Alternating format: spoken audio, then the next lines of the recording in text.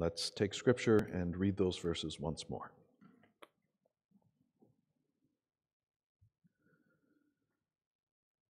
Speaking of Joseph and Mary, scripture says, after three days they found him, that is Jesus, in the temple, sitting among the teachers, listening to them, and asking them questions. And all who heard him were amazed at his understanding and his answers.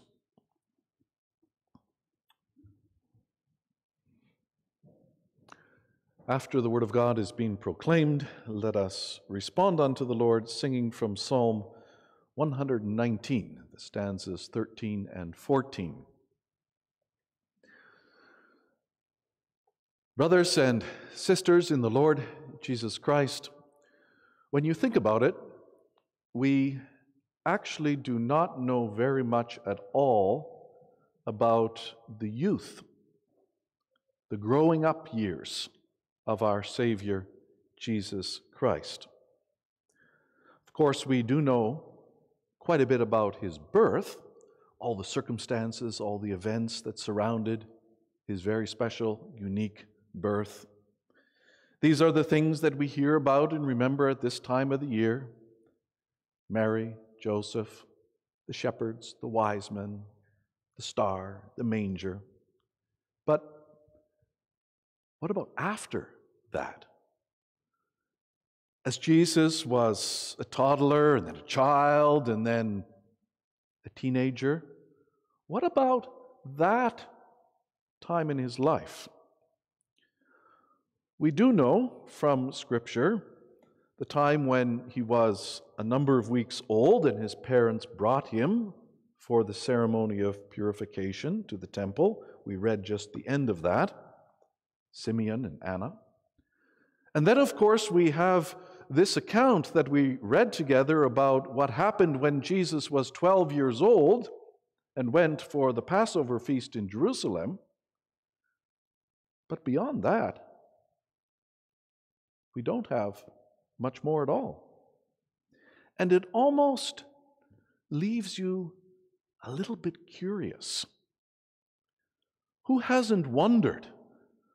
What was it like for Jesus growing up in the family of Joseph and Mary because they also had other children. What was it like for Mary and Joseph raising their family, including Jesus, the sinless child? Certainly, we've all wondered about these things, we've been curious about them, and so were Christians in the early church. In fact, so curious were they that it started to spill over, and there were various stories, not true stories, more like myths or fables, but they were circulating. They were even written out and circulated in the early church. Let me allow, allow me to make you briefly aware of two of them. One of the stories that was circulating at that time was when Jesus apparently was three years old. And his mother Mary was walking with the three year old toddler Jesus down the road, and there was a fruit tree on the side of the road. And Mary expressed her desire for one of the fruits that was on the tree. And so the story, the myth, the fable goes that little Jesus gave the command, and the tree just bent over miraculously, and Mother Mary could grab the fruit that she was desirous of. There was also another story that circulated in the early church about Jesus when he was five years old. And apparently, he was making from clay, the children today would probably call it Play Doh. He was making from a clay the, the figure of a bird. And once he had made a bird out of clay, out of Play Doh, he gave a command, and miraculously, it turned into a real bird and flew off. Now, you can imagine how in the early church, people were interested, especially the children, thought these were fantastic stories. But there was one big problem. They weren't true. They didn't come from the Bible, they came up from people's curiosity. But the question for us, brothers and sisters, is not what might fill our curiosity, but what has the Holy Spirit revealed to us? And that's what we have here. This one extensive account of Jesus when he was 12 years old. And what the Holy Spirit reveals here is, in the first place, not, brothers and sisters, to satisfy a little bit of our curiosity because one account at 12 years old would hardly satisfy our curiosity. But this is given for us and our salvation, as we confess in the Nicene Creed. This is not just a story about a boy who lived in Nazareth and traveled to Jerusalem. This, brothers and sisters, is our mediator. This is our deliverer. This is Jesus Christ. And I may proclaim then the gospel this afternoon in this way Jesus in his youth, a student, but also, and so importantly so, our Savior. We'll focus on three things. First of all, how he was sitting among the teachers, and he did that for us and our salvation. Then, how he was learning from those teachers, again for us and for our salvation. And then finally, how he astonished the teachers and others beyond that, again, for us and our salvation. Congregation of the Lord, you could hardly be blamed if, on hearing that theme, Jesus in his youth, a student, and our Savior, you pondered a little bit and wondered perhaps about that word student. Of course, we know what students are. We have some children here. We have children watching online as well and participating, I assume. And children at a certain age become students. Of course, they're learning from early on. But at a certain point, we say, oh, now they're a student in elementary school or in high school. And once they're a little bit older, perhaps they become a student at college or university. And when you are in that stage of your life, when you're called a student, then one of the main things in your daily activity is starting with listening. You do a lot of listening to the people who are teaching you. And then, if you're wise about it, you ask questions, especially if you don't understand, then you need to ask the question so that you understand better. And not only asking questions, but as a student, you're going to spend a lot of time answering questions. Bible worksheets, English worksheets, math worksheets, and as you grow up, essays and tests and even exams. It's a whole lot of listening, asking, and answering. That fills your day in so many different ways. And what's the point of being a student? That you grow that you grow in knowledge and in that special skill and ability of wisdom. Not just knowing things, but carefully discerning things. Well, if that's what it is to be a student, does that apply to this special, holy, completely unique person, Jesus Christ.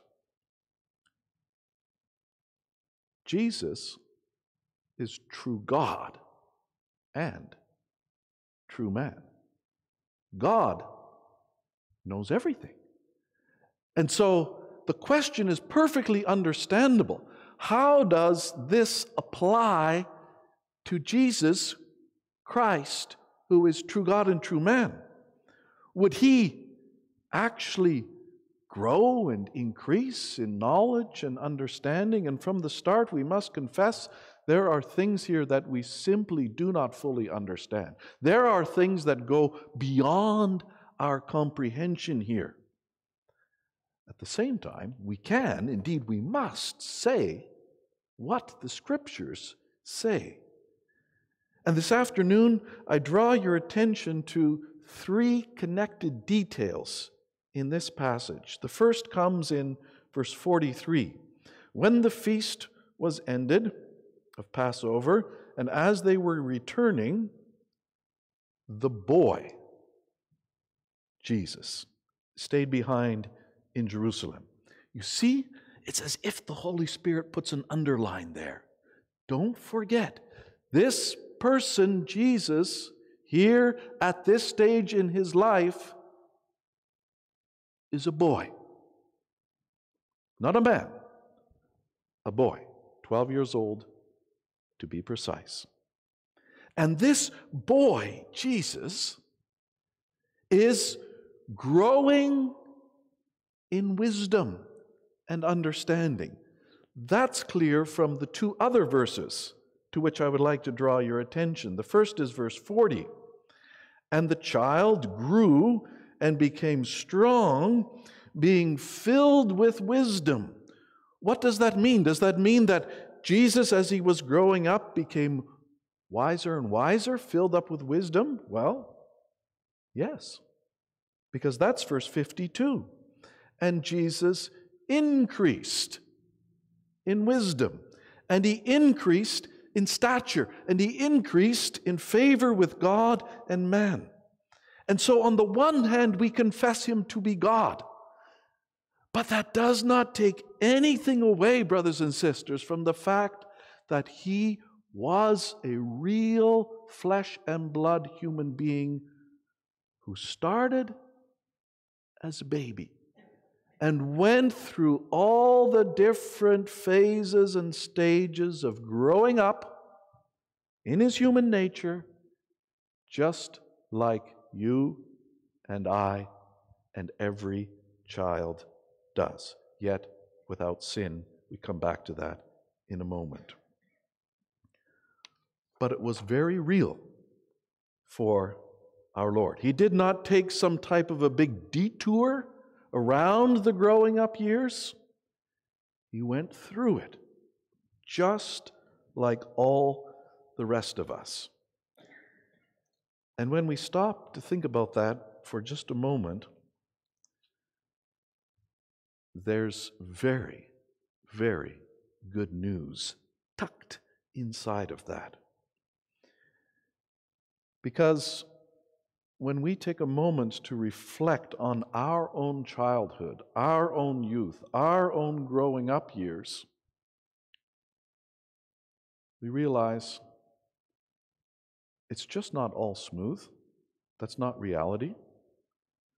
Going from infant to toddler, from toddler to child, from child to teenager, up to young man, young woman, on into adulthood, that whole progression, that's not like a big jumbo jet, like a 747 taking off on a smooth, windless day and just rising up higher and higher to 37,000 feet or whatever they fly at. That's not the way it is growing up.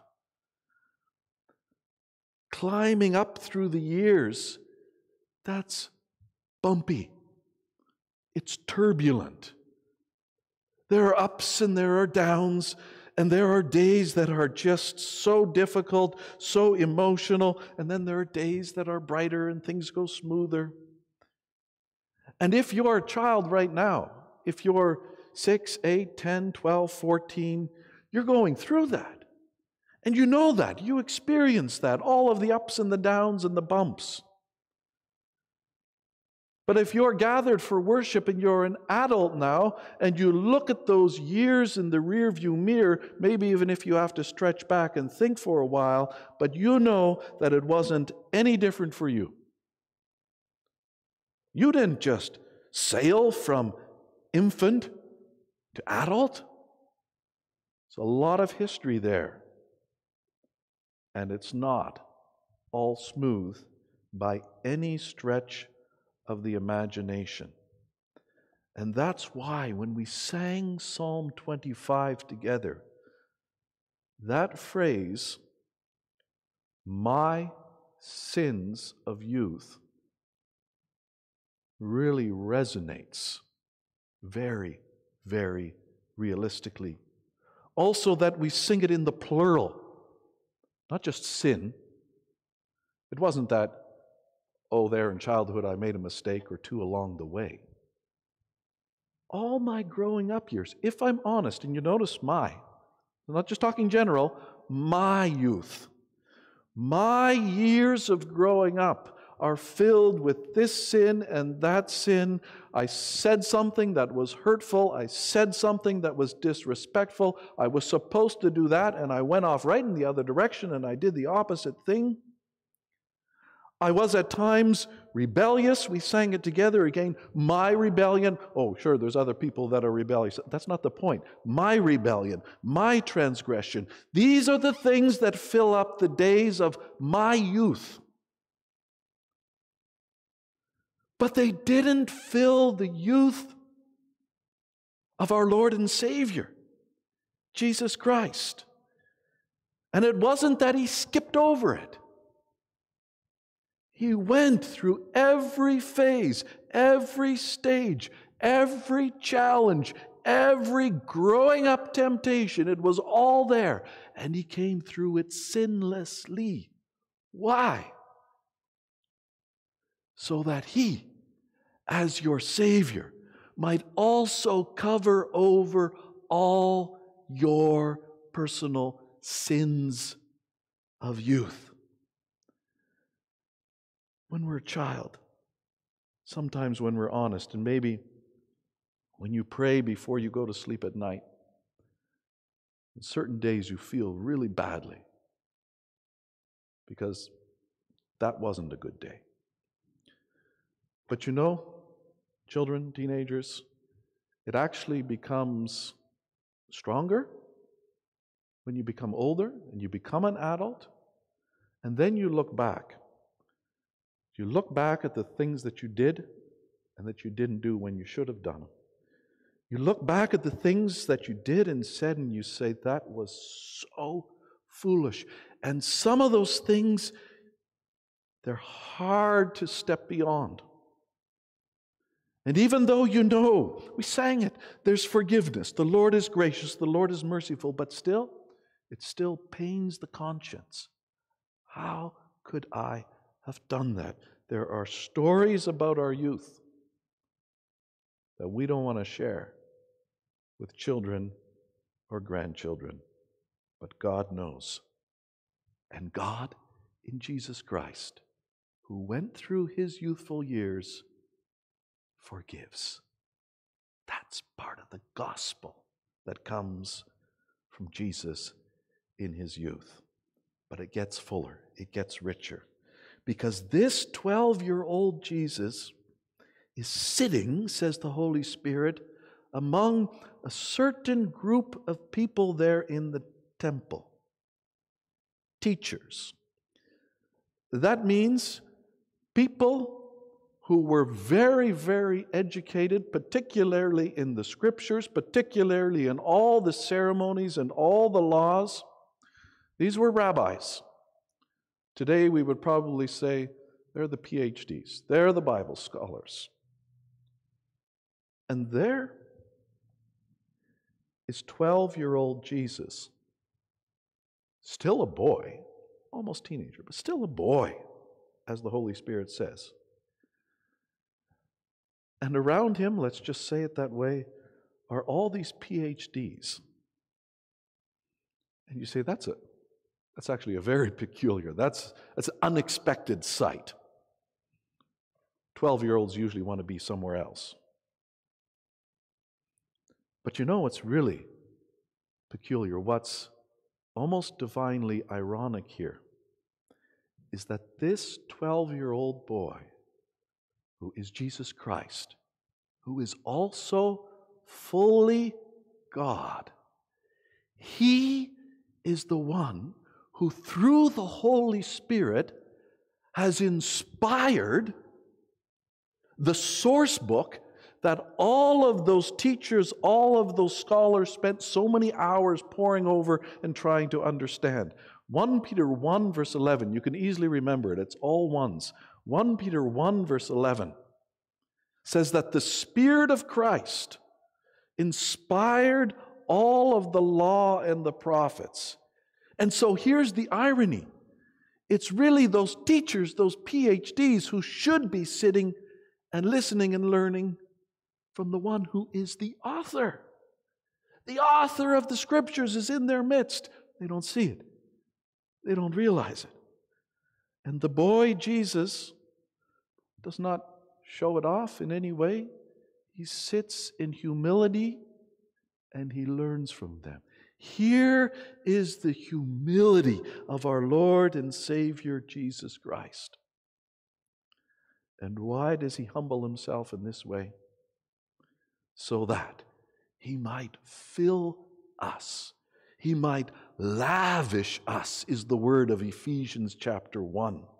There is a knowledge that is given, not through the PhDs that are around, but there is a knowledge that comes through he who was the 12 year old boy that puts to shame whatever brilliant minds, whatever intellectuals, whatever philosophers, whatever great thinkers about religion may be in, there, in, in this world, brothers and sisters.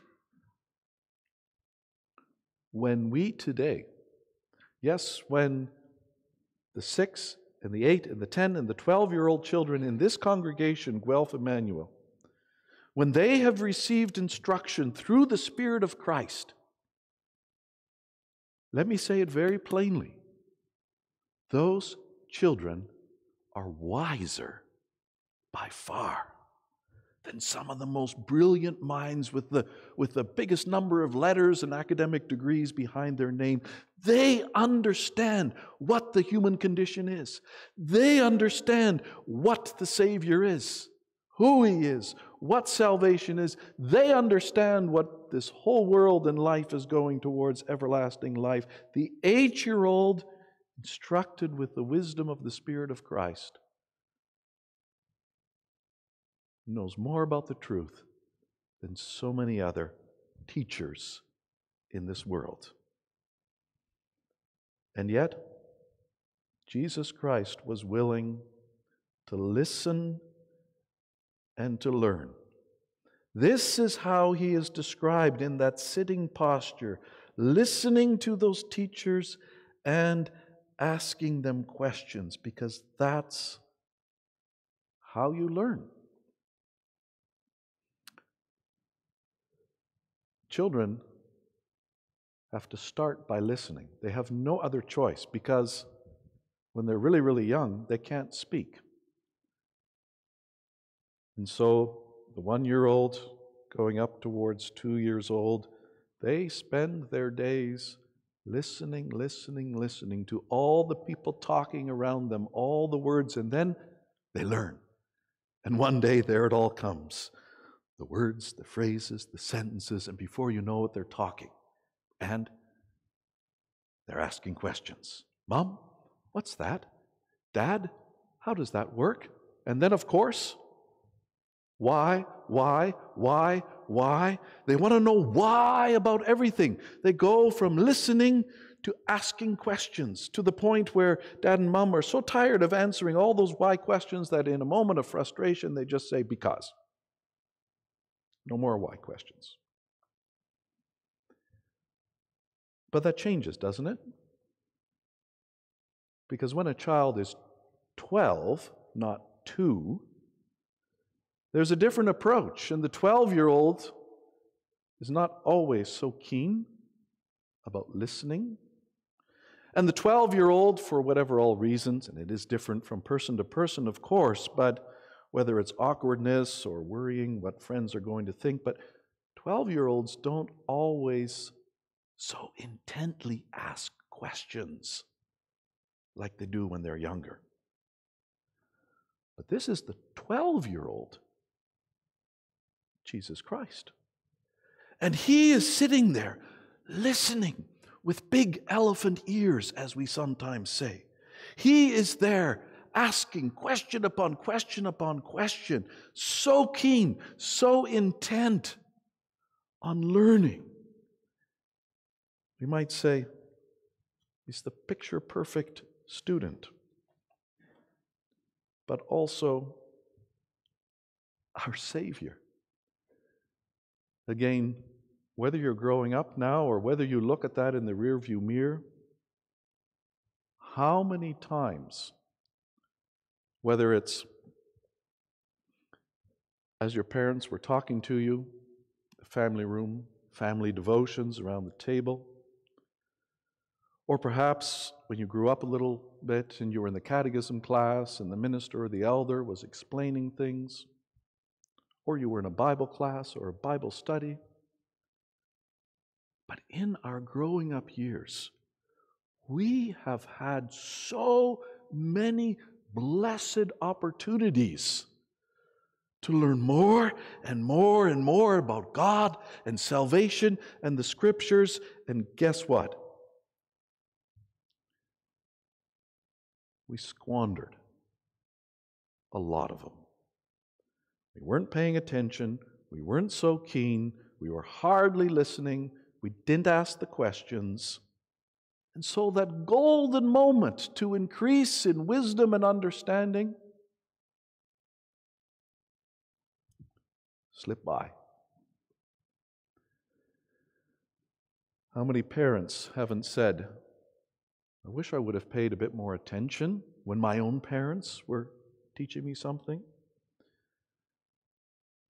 How many office bearers haven't said, I wish I had paid more attention in catechism class because now that I need to be sharp on what Scripture teaches, I'm a little bit fuzzy on that point.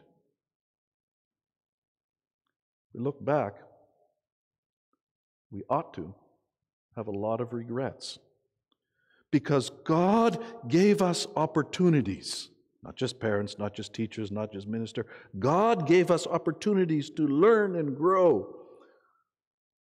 And we were distracted or fooling around. That too was part of the sins of our youth, but not the 12 year old Jesus. By natural inclination, it would have been run off with the cousins, run off with the friends, the other 11, 12, 13 year olds, and go along the road back to Nazareth. In fact, that's exactly what his parents thought he would be doing. That was the normal, that was the natural. But the Lord Jesus Christ stayed there. He wanted more and more time to listen to ask questions, to learn. So keen was he also to learn about what he would have to do, what he would have to fulfill as he grew up into his task as our Lord and our Savior. But he was keenly learning there for us and our salvation, so that we may know that all the opportunities that we wasted and squandered, and there are a lot, that too is covered.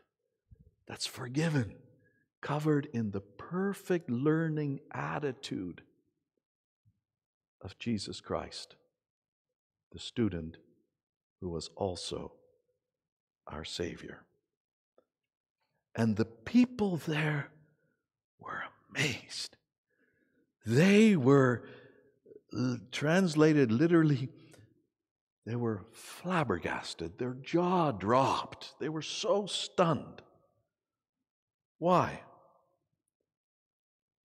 Holy Spirit says, at his understanding, but also the way he spoke, the way he answered things. Because that's all part of being a student, too. You need to give the answers. And this is what the people who heard him were just so agog about. How does this 12 year old boy answer in that way? And what was it, we wonder, that left them so astonished? Well, using Scripture to understand Scripture, brothers and sisters, once Jesus Christ grew up, and once he began to preach and teach from town to village to town to village. The people were astonished. Same word then as well. Matthew chapter 7, verse 28. When Jesus finished saying these things that we now call the Sermon on the Mount, the crowds then too were astonished at his teaching. Why? For he was teaching them as one who had authority and not as their scribes. Because that's how the rabbis taught. They gained their authority by quoting other rabbis. You read these writings, brothers and sisters, I can tell you, it's Rabbi so and so who quoted Rabbi so and so, and it's human authority, it's human ideas, it's human opinion. And the idea was of the rabbis was if you stack enough of these smart human beings up in all your quotations and all of your citations, you can convince the crowds. It was authority through multiplying human opinion, and Jesus did not teach that way. He had an authority that was different. And there was something in his answers all the way when he was still 12 years old. Maybe they couldn't exactly articulate it, but they knew there's something different about the way that this boy speaks and answers. Why? Because he was also God. And when God speaks, that's a different voice. There may be all kinds of ideas, all kinds of opinions, all kinds of arguments, and if you stack up all the experts, it could, from a certain angle, be quite impressive. But it's not like the voice of God. And this 12 year old boy Jesus is not 12 year old anymore. That's the thing about growing up. You do, in due time, grow up. And the student became the teacher. He was not among the teachers anymore. He was the teacher, but he was not a teacher like all the other teachers in Israel. He was the chief prophet and teacher who taught with his own divine authority. That authority which cuts through all the human ideas and opinions and puts it right there. This is the truth. Period. And this is our chief prophet and teacher now. And when we gather and when we are instructed, we may be in our elderly years, we may be the child who is 6, 8, 10. When we are gathered in a worship service, when we are gathered in other contexts around the Word, then that same voice that so left the crowds flabbergasted is the voice that's still coming through. And it's so clear when the Lord Jesus Christ speaks, if he cites, if he quotes, he just quotes from the Old Testament. And if he's going to explain some truth unto eternal salvation, he picks a parable, a story about a vine, or a mustard seed, or a lady looking for some lost coins. It's so simple, it's so clear. It's not layer upon layer upon layer. It's right there. It's the truth. And an eight year old can understand it, and an 80 year old can understand it. And yet it's so profound. It rises above. No, it's a totally different category than all the other teachings and theories. And this now is our chief prophet and teacher. Brothers and sisters, what a Savior, what a teacher. Please do not ever stop inclining your ear to Him. He's the one who shows the way. Amen.